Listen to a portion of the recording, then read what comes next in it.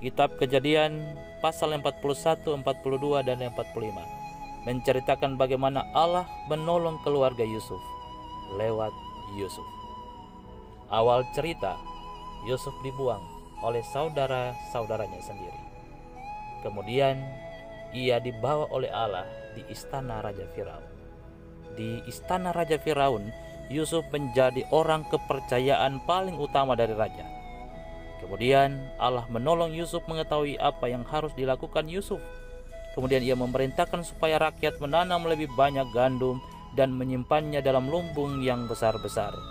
Dalam waktu yang singkat, semua lumbung terisi penuh.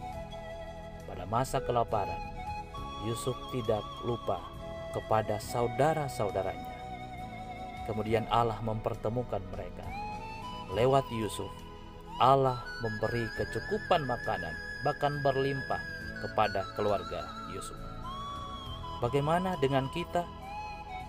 Bagaimana Allah menolong keluarga kita mempunyai cukup makanan? Apa yang kita makan tadi pagi, tadi siang, dan nanti pada malam hari?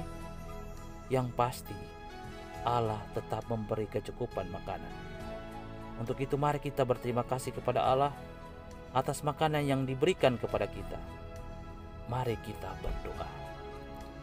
Pada saat ini kami berterima kasih padamu, ya Allah Bapa kami di surga, atas makanan dan kecukupan yang Engkau beri bagi kami.